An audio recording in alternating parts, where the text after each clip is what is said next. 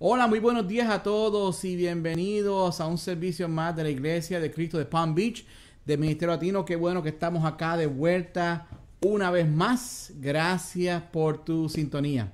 Antes de comenzar con el servicio de la mañana de hoy, comenzamos con una oración para que Dios pueda estar en control de este tiempo juntos. Oremos. Señor, damos las gracias por esta hermosa y bella mañana de domingo. Gracias por la oportunidad, Señor, de estar todos juntos con familia compartiendo este tiempo juntos, eh, este tiempo juntos, Señor, y aprendiendo cada día más y más a cómo ser más como Jesús. Yo te oro, Padre, Señor, que por favor abra nuestros corazones, y nuestras mentes, para entender, mi Dios, tus designios, el propósito que tú tienes en nuestras vidas, Señor, y comprender cada día más, Señor, acerca de ti a través de tu palabra, Señor. Gracias por este tiempo juntos. Y oro, Señor, para que abran nuestros corazones y nuestras mentes. En el nombre de Jesús. Amén. Hoy estaremos hablando de la importancia de prestar oído a la sabiduría y a la inteligencia del Altísimo. Yo sé que muchos de ustedes están preguntándose qué significa eso.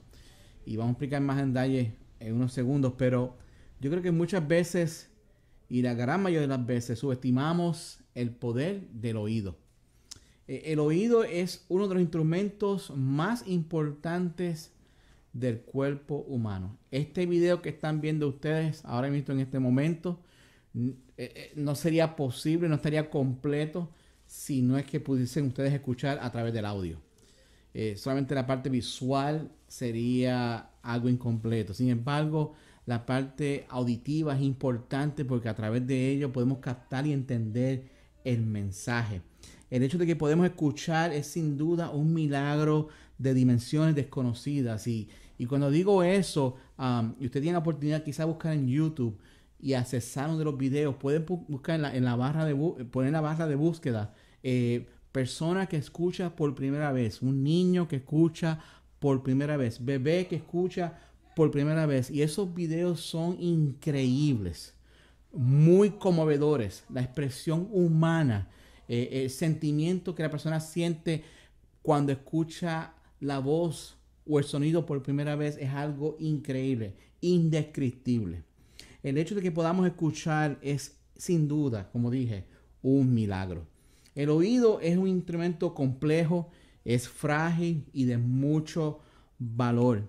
Y tenemos que valorizar de esa forma, porque si no, perdemos de perspectiva la vida misma. El ejercicio que les invito a ustedes en el día de hoy es que salgan de su casa y, presten atención, presten oído al, sonido de un pajarito. Eh, el escuchar un pájaro en la mañana es la cosa más hermosa que tú puedas, que tú puedes sentir y experimentar. Y hay otras cosas también en la vida que son también increíbles. El hecho de poder escuchar la voz de un ser querido que hace mucho tiempo tú no ves el hecho de poder escuchar una buena noticia, algo que tú estabas esperando en tu vida que pasara y finalmente llega, y escuchar esa buena noticia, cuánta alegría nos da nuestro corazón. El llanto de alegría, cuando después quizás de un dolor, de una angustia, de una enfermedad, finalmente llega la sanación y cómo lloramos de alegría. Y el hecho de escuchar eso, de presenciarlo, es increíble. Un chiste gracioso para alegrarnos el día, ¿verdad? Que sea de verdad gracioso. Eh, el hecho de poder compartir ese tiempo junto con familiares, amigos, eh, palabras de aliento, una muestra de agradecimiento, palabras de elogio cuando son necesarias, palabras de amor cuando alguien nos dice te quiero, te amo, te adoro, te extraño. Qué hermoso es escuchar cuando estamos perdidos que alguien nos indique cuál es la dirección correcta. El hecho de un maestro, eh, de alguien que nos enseña a nosotros el pan de la enseñanza, tu canción favorita de tu cantante favorito. Qué cosa increíble, qué experimento uno siente, ¿verdad? Eh, eh, eh, qué alegría uno siente cuando escucha su canción favorita. Qué increíble es escuchar quizás un grito de libertad, un poema de inspiración, una declamación, un discurso que mueve las masas buscando mejor mañana.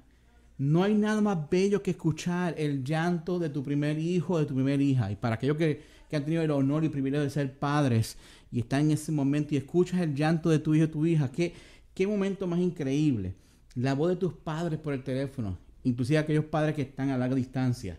El llamado de tu nombre en tu graduación, cuando tú estás en fila y vas a recibir finalmente ese diploma, después de tanto sacrificio, tanto esfuerzo, y escuchas tu nombre, qué increíble se siente.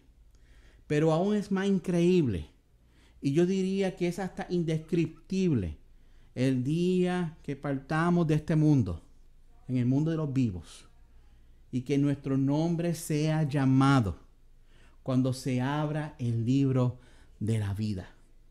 Y ese va a ser un momento inimaginable, indescriptible. Yo creo que en la mente del ser humano no, no cabe la idea de cómo será ese momento cuando nuestros nombres sean llamados a través del libro de la vida. Y para que esto sea una realidad, tenemos que hoy día valorizar lo que la sabiduría y la inteligencia del Altísimo significa.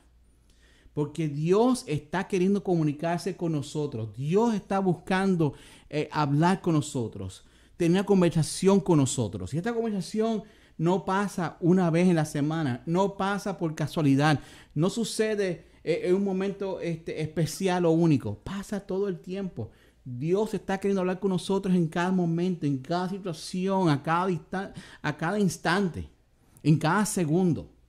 Y es una conversación que Él quiere tener con nosotros, con sus hijos. Y no hay nada mejor que escuchar la voz de Dios, que nos hace ese llamado, que nos llama por nuestro nombre y nos llama a que nos unamos a Él. Y no hay nada mejor que sentir eso a través de un sermón en un domingo, a través de un tiempo íntimo y personal con Dios, en ese tiempo de intimidad, cuando estamos leyendo nuestra Biblia y sentimos que Dios nos está hablando.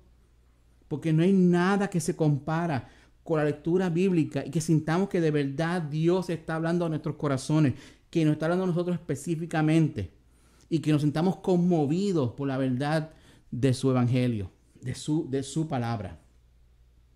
Y el hecho de prestar oído al Espíritu de Dios es en sí una experiencia extraordinaria. Algo sucede cuando nos conectamos con la voz de Dios. Y si no, cuando miramos la Biblia, cuando observamos en la palabra, hombres y mujeres que escucharon la voz de Dios, su vida fue transformada, cambiada totalmente. Iban a una dirección y ahora Dios llama a una dirección opuesta para que sigamos sus pasos, para que sigamos eh, eh, su, dirección, para que caminemos eh, según, según su voluntad. Pero primero hay que reconocer la importancia de lo que eso significa. Escuchar a Dios no es una experiencia humana, sino una experiencia que es totalmente espiritual. Y la conexión no tiene nada que ver con lo físico, sino que trasciende lo terrenal. Escuchar la voz de Dios es un acto interno, misterioso, que solamente se podrá explicar algún día. Sin embargo, escuchando y asimilando lo que Dios nos dice, tiene grandes beneficios en nuestra vida hoy día. Y la sabiduría y la dirección dada en la palabra que Él nos dejó, tiene grandes, grandes satisfacciones.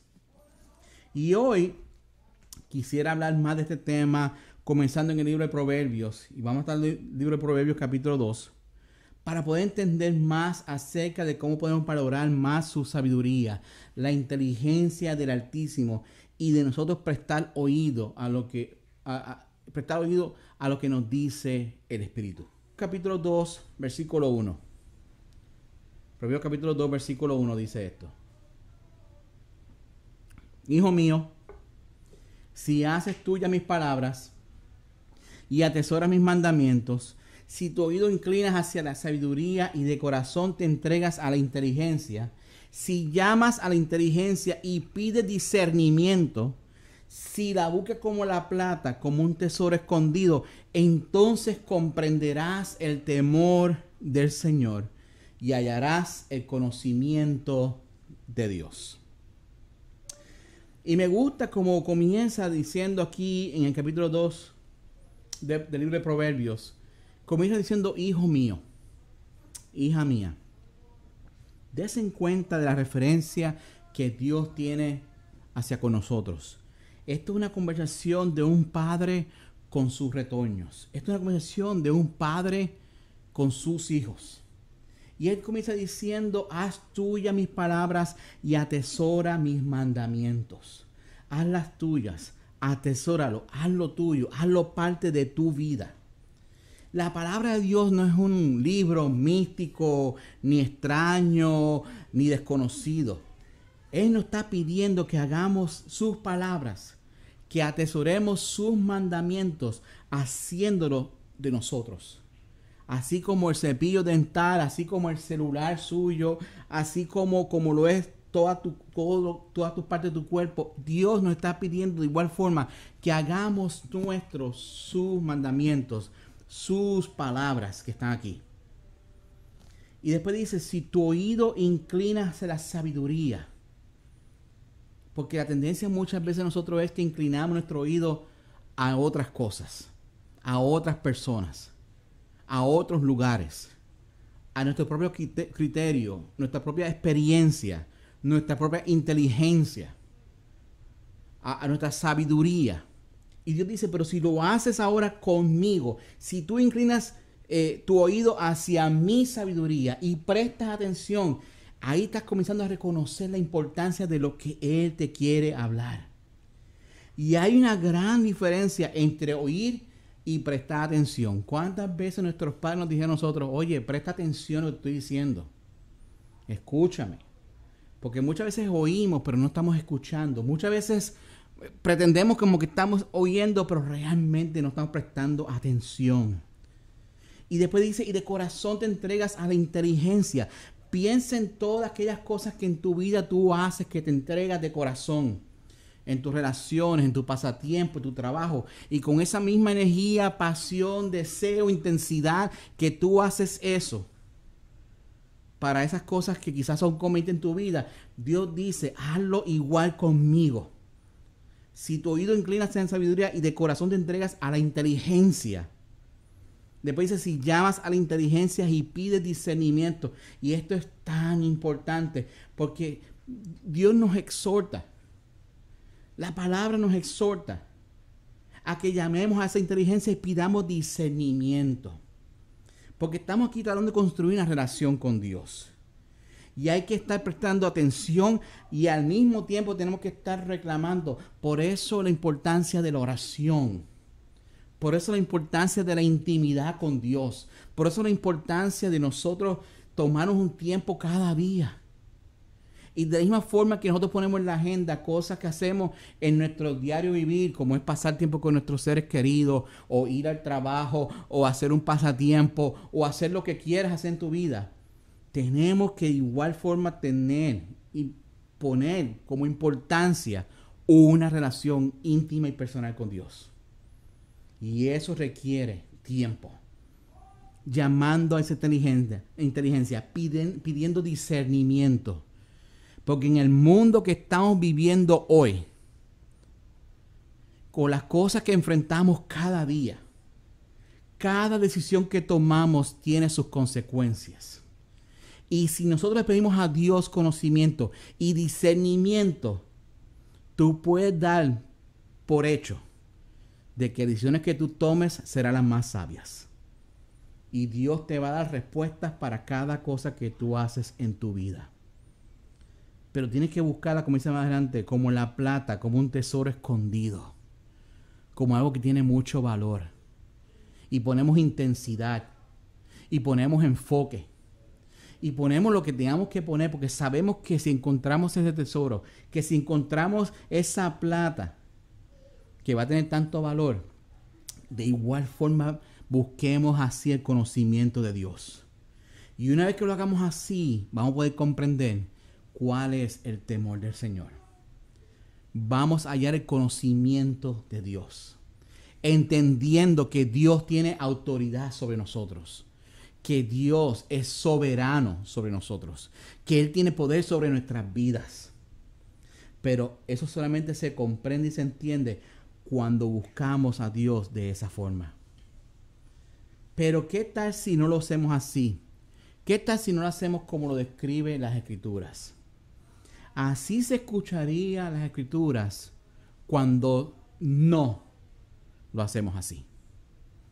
Dice, hijo mío, si no haces tuya mis palabras y no atesoras mis mandamientos, si tu oído no inclinas hacia la sabiduría y de corazón no te entregas a la inteligencia, si no llamas a la inteligencia y no pides discernimiento, si no la buscas como la plata, como un tesoro escondido, entonces no comprenderás el temor del Señor y no hallarás el conocimiento de Dios. Y hoy día es lo que precisamente pasa en la vida de muchos de nosotros. Que no hacemos estas cosas. Que no valorizamos la sabiduría y la inteligencia del Altísimo. Que no ponemos oído al Espíritu. Preferimos quizás escuchar a Walter Mercado y tomar decisiones en nuestras vidas basado en lo que Walter dijo esa mañana, cuando el hombre murió hace como cinco años o prestamos más eh, el oído a las cosas que nos dicen en los medios sociales, o lo que nos dice una amiga, o lo que nos dice una persona que quizás tendrá la mejor intención, pero no la mejor intención que tiene Dios contigo.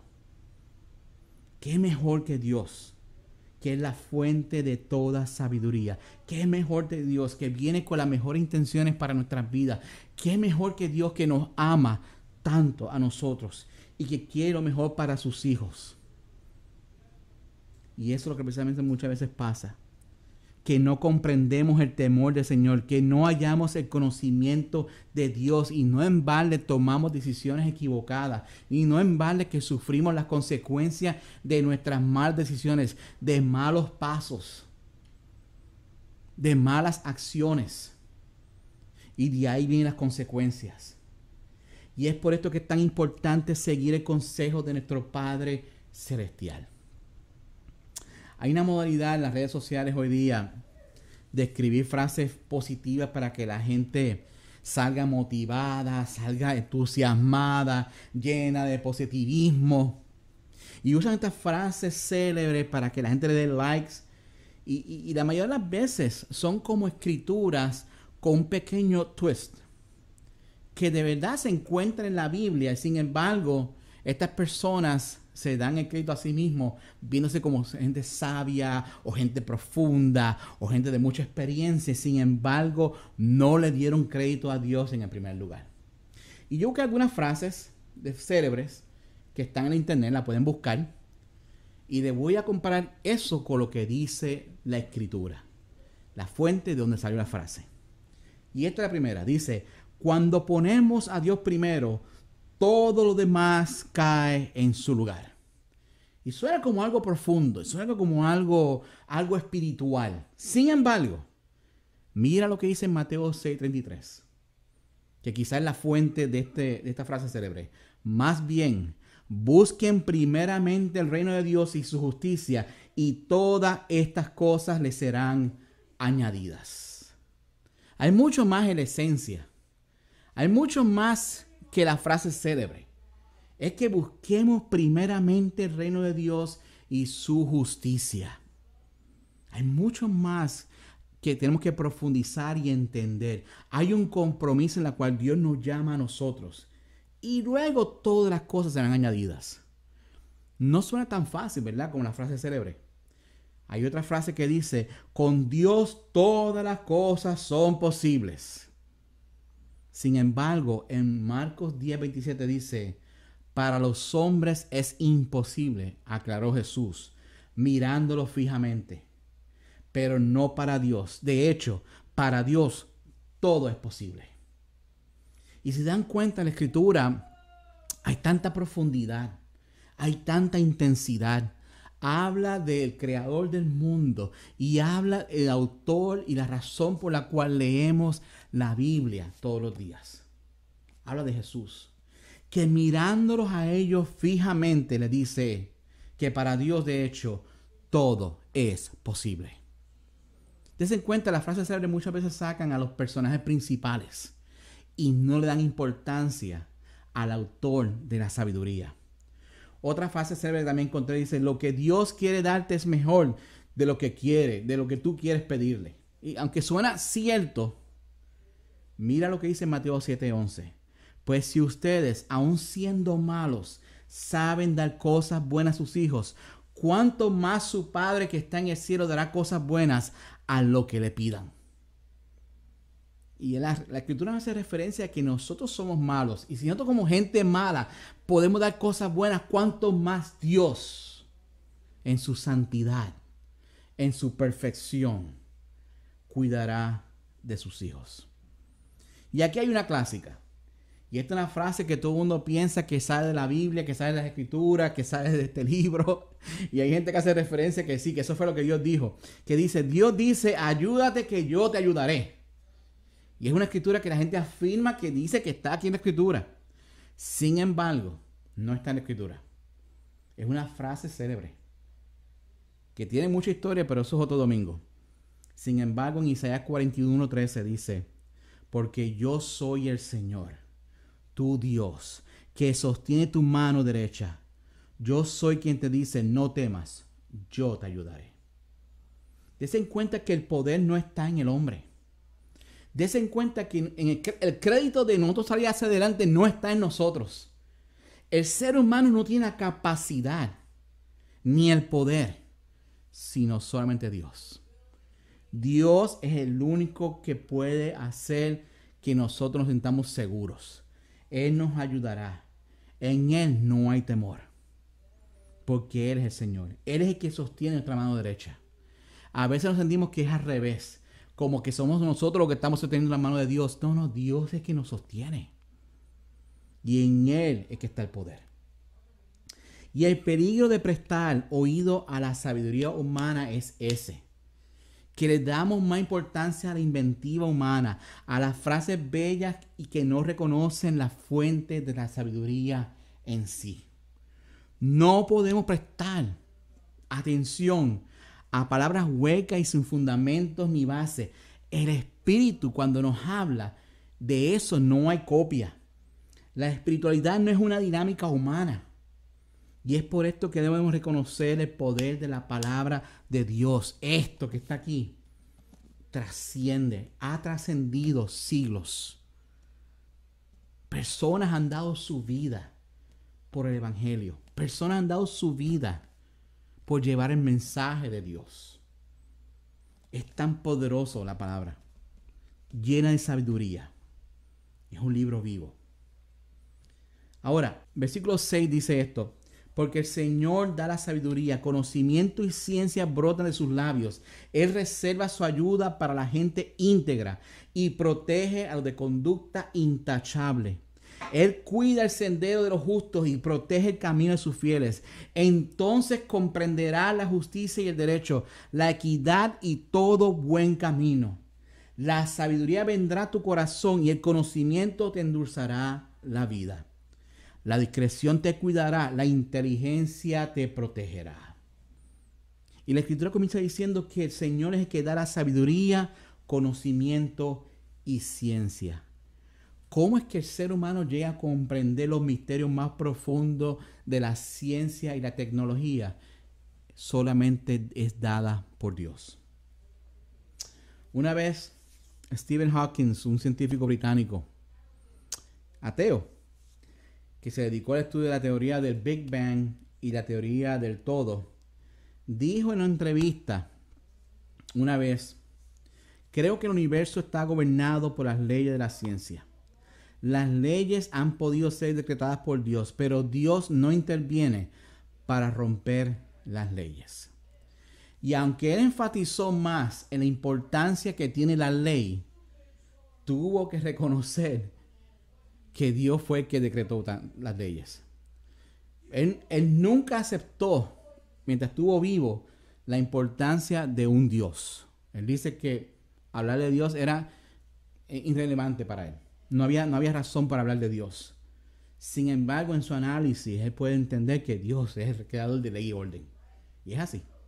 Dios es el creador de ley y orden. Porque en lo profundo de la, de, lo profundo de la ciencia, de su sabiduría, Dios está en control.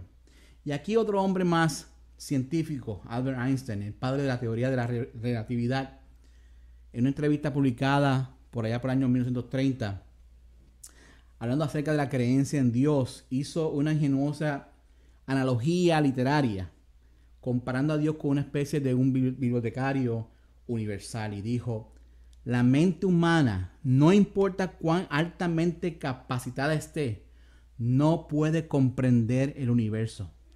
Estamos en la posición de un pequeño niño entrando en una enorme biblioteca cuyas paredes están cubiertas hasta el techo de libros de muchos idiomas diferentes. El niño sabe que alguien debió haber escrito estos libros. No sabe quién ni cómo. No entiende los idiomas en los que están escritos. El niño observa un plan definido en la organización de los libros, un orden misterioso que no entiende, pero apenas sospecha sutilmente. Esa, me parece, es la actitud de la mente humana, incluso de la más grande y la más culta hacia Dios. Vemos un universo maravillosamente organizado, obedeciendo ciertas leyes, pero solo entendemos las leyes vagamente.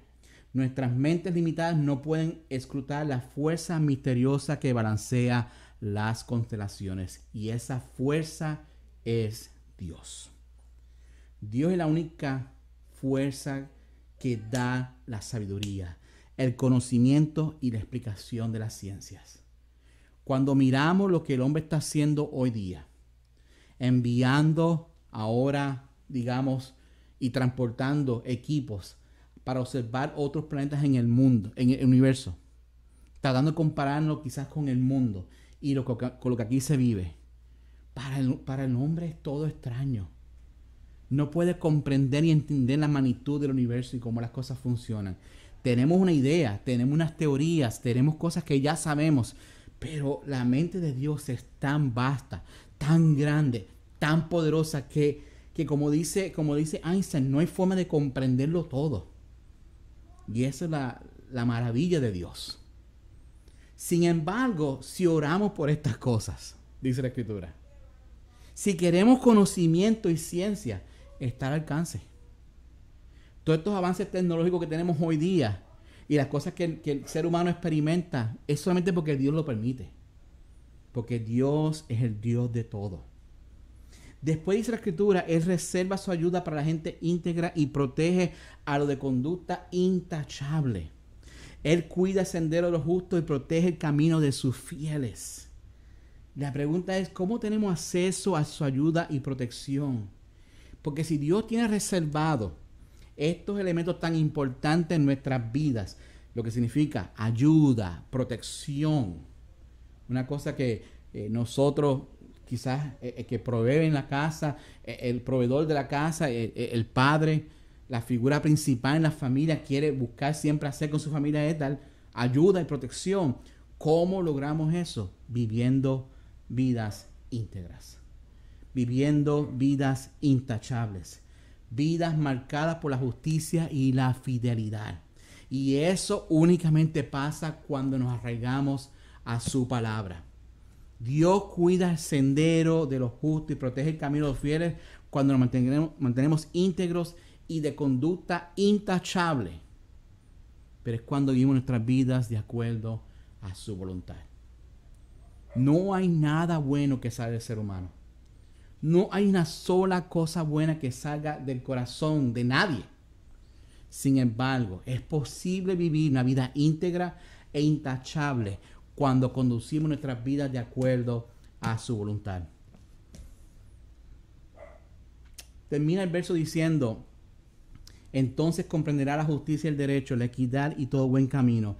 La sabiduría vendrá a tu corazón y el conocimiento te endulzará la vida. La discreción te cuidará, la inteligencia te protegerá y la justicia de Dios. La justicia de Dios no es como la justicia de los hombres.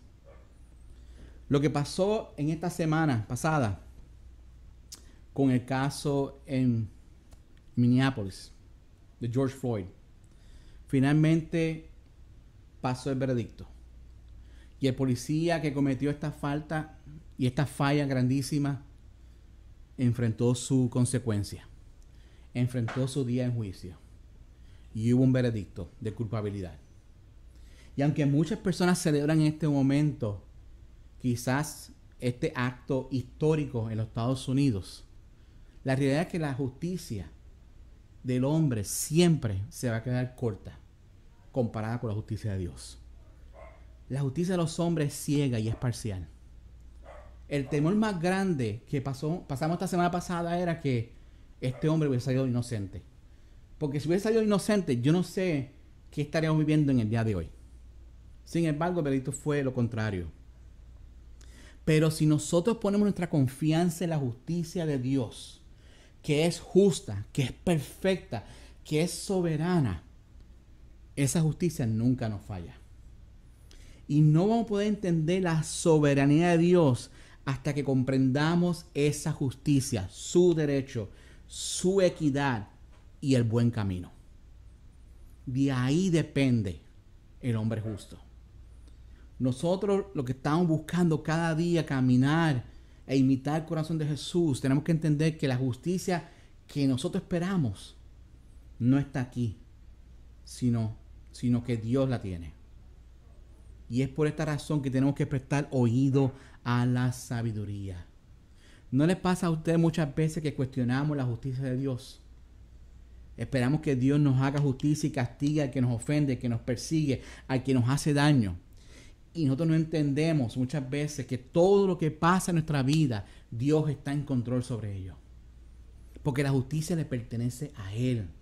Y Él es el que tiene nuestras vidas en sus manos. Todo lo que sucede en nuestras vidas tiene razón de ser. Tenemos que recordar que Dios es que cuida y que cuidará el sendero de los justos y protege el camino de sus fieles. Pero tenemos que mantener íntegros y de conducta intachable. Tenemos que confiar en el proceso, porque en ese proceso Dios no nos va a desamparar. En el versículo 18 dice, la discreción te cuidará, la inteligencia te protegerá, porque ambas cosas, la discreción y la inteligencia serán tus más fieles aliadas. Una vida plena, una vida llena de felicidad está cimentada en la sabiduría de Dios. Ahora, ¿por qué es tan importante la sabiduría de Dios? En el versículo 12 dice esto, la sabiduría te librará del camino de los malvados, de los que profieren palabras perversas, de los que se apartan del camino recto, por andar por sendas tenebrosas, de los que se complacen hacer lo malo y festejan la perversidad, de los que andan por caminos torcidos y por sendas extraviadas. Te librará de la mujer ajena, de la extraña de palabras seductoras que olvidándose de su pacto con Dios, abandona el compañero de su juventud. Ciertamente su casa conduce a la muerte, sus sendas llevan al reino de las sombras. El que se enreda con ellas no vuelve jamás, ni alcanza los senderos de la vida. Y por eso es que la sabiduría es tan importante, porque nos libra de la muerte. Y no estoy hablando solamente de una muerte física, sino muerte espiritual. Y la muerte te aleja de los senderos de la vida. Y no sé cuánto de ustedes esta mañana quieren correr ese riesgo de perderse del sendero de la vida.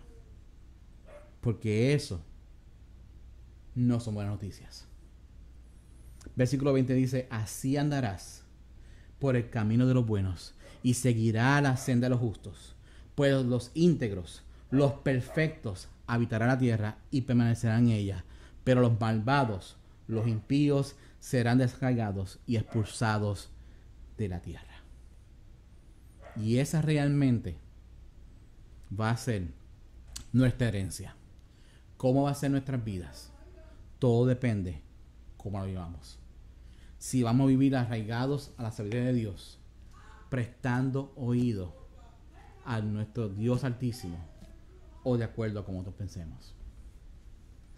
Y regresando a lo que dice en Proverbios capítulo 2, versículo 1, dice, Hijo mío, si haces tuya mis palabras y atesora mis mandamientos, si tu oído inclinas hacia la sabiduría y de corazón te entregas a la inteligencia, si llamas a la inteligencia y pides discernimiento, si la buscas como la plata, como un tesoro escondido, entonces, y solamente entonces, comprenderás el temor del Señor y hallarás el conocimiento de Dios. Así que así concluimos la lección de hoy entendiendo la importancia de prestar oído a la sabiduría y a la inteligencia del Altísimo, prestando oído a lo que el Espíritu nos está diciendo. Amén. Oremos. Padre, bueno, te damos las gracias. Porque gracias a, gracias a través de tu palabra podemos estar cerca de ti. Entender tus designios, entender tu voluntad. Entender, mi Dios, que sin ti, mi Dios, no podemos ni por un segundo alcanzar rectitud, ni sabiduría, ni conocimiento. Te oro, Padre, que estés con nosotros cada día y que nos enseñe y nos ayude, mi Dios, a comprender tus designios y amar cada día más y más tu palabra. En el nombre de Jesús te olvido todo, todo esto. Amén. Esta mañana quiero agradecer una vez más por su sintonía, por estar con nosotros otra vez, un domingo más. Perdonen a mi, a mi perrita Sacha, que ha estado más que contenta en el día de hoy. La semana que viene continuaremos con nuestro servicio en español a esta misma hora y por este mismo canal. Eh, ahora lo voy a dejar con un video extraordinario eh, de Carlos Herrazo, que espero que le presten atención. Excelente video y espero que sea de su agrado, ¿ok? No te olvides darle like y share a este video y que el Dios Altísimo esté con nosotros hoy y siempre. Chao.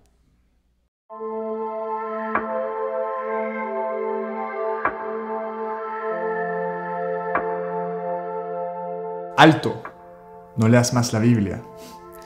Así es, me oíste bien. No leas más la Biblia de la misma manera que lees cualquier otra cosa.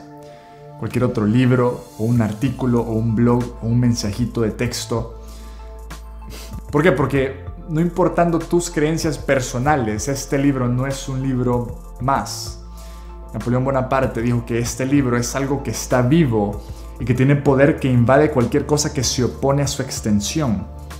Isaac Newton lo describió como el más sublime y el más auténtico. El primer presidente de Estados Unidos, George Washington, dijo que es imposible gobernar el mundo sin este libro y la reina Elizabeth dijo que este libro es el secreto del éxito de su nación. ¿Qué tipo de libro es este? Este libro que realmente es una colección de libros escritos en un periodo de más o menos 15 siglos, hace miles de años, por más de 40 diferentes autores, en diferentes contextos, con diferentes estilos, en diferentes géneros literarios, en tres diferentes continentes, en tres diferentes idiomas, a través de la historia fue copiado a mano para preservar y distribuir su contenido hasta 1454, cuando Gutenberg introdujo al mundo la imprenta y se convirtió en el primer libro impreso, desatando una revolución en las próximas generaciones. Diferentes civilizaciones, imperios, movimientos y personas que transformaron el mundo fueron primero influenciados, sacudidos y transformados para bien o para mal por este libro. Tan peligroso su contenido también que líderes como Joseph Stalin, Mao Zedong y otros quisieron eliminarlo por completo e hicieron miserable la vida de cualquiera que se opusiera a eso.